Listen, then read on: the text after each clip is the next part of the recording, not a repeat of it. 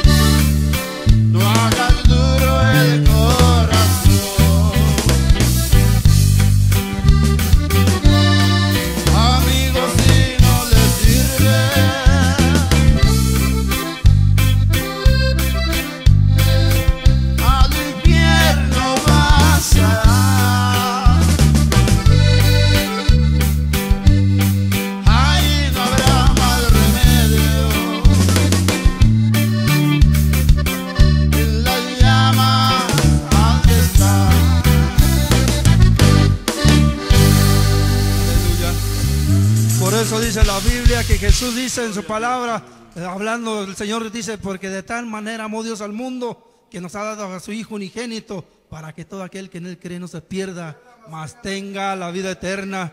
Porque no envió Dios a su Hijo al mundo para condenar al mundo, sino para que el mundo sea salvo por él.